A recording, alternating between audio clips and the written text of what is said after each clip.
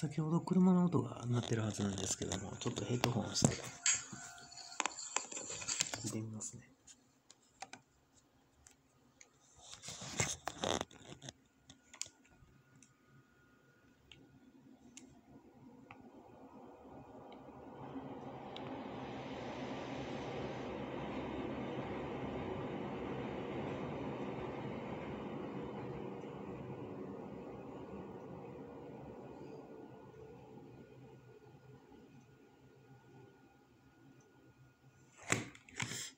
ちょっとボリュームの方が上がってなかったみたいですね。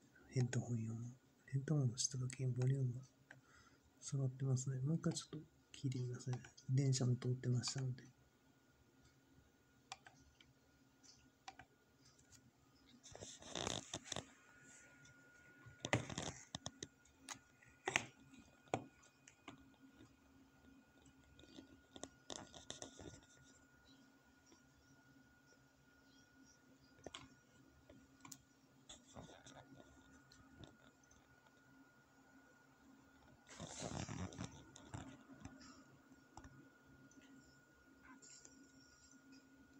先ほどの音ですね、あの、家の中からだと非常にあの大きな音で、まあこの時間帯を調べてもらったら分かりますね。